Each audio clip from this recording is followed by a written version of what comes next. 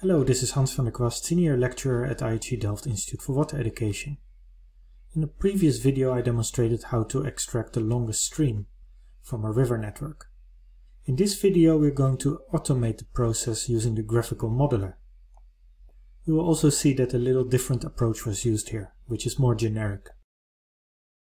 So I use here as input files a uh, file with uh, the junctions but that can be any vector layer that you have which has uh, springs and the outlets, and the channels layer, that's the network. Let's start building the model. In the processing toolbox, choose Create New Model. This is the interface of the graphical modeler. Let's first define our inputs.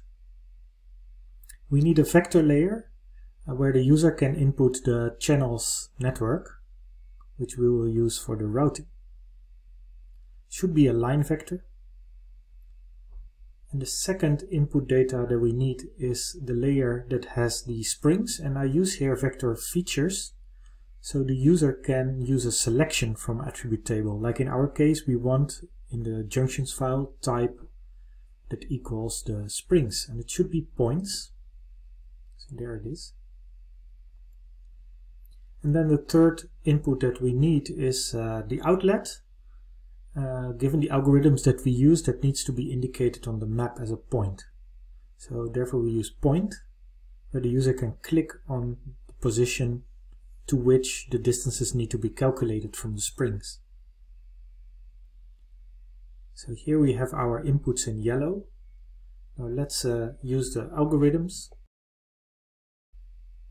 And the algorithm that we need here is the shortest path layer to point from the network analysis because our layer has the springs. So let's uh, change here the description so it's clear.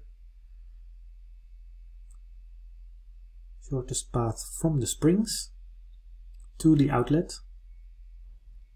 And we keep the network as channels network, that's the line, it automatically detects it. And then the vector layer with the start points are the springs. And then the endpoint is the outlet input that is selected on the map. So with that the algorithm can calculate the shortest path. And then we want of course to extract the longest of those paths, which is the longest stretch in our river system. And we can use there extract by expression.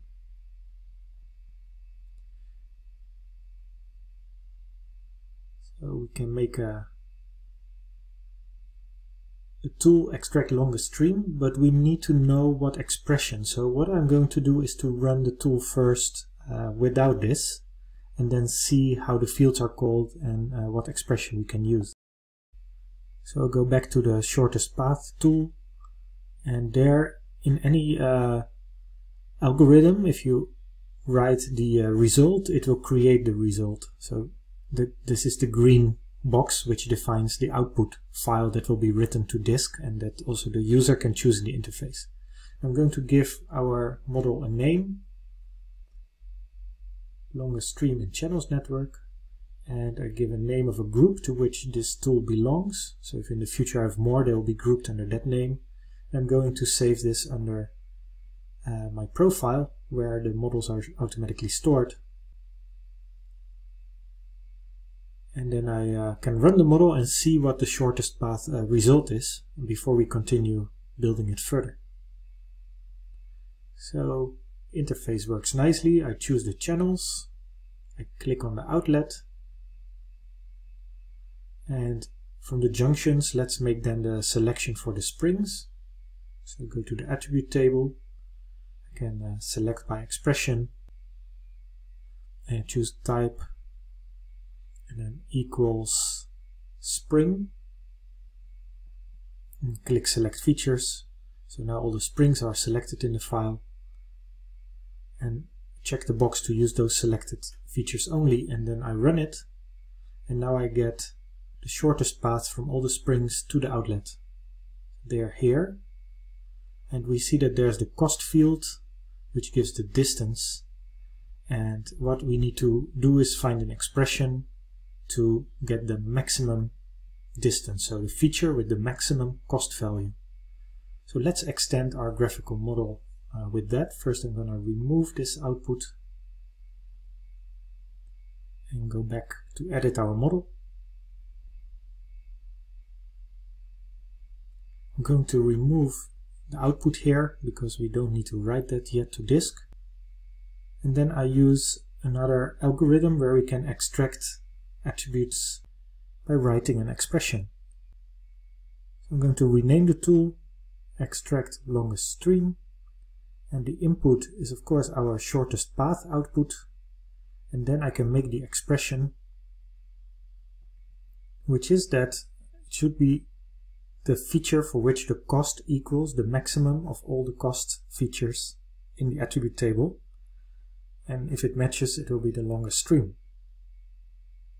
I save the model and I'm going to select from the attribute table our springs and um, this is very generic so this will work with any layer where you can select the features that are springs or sources.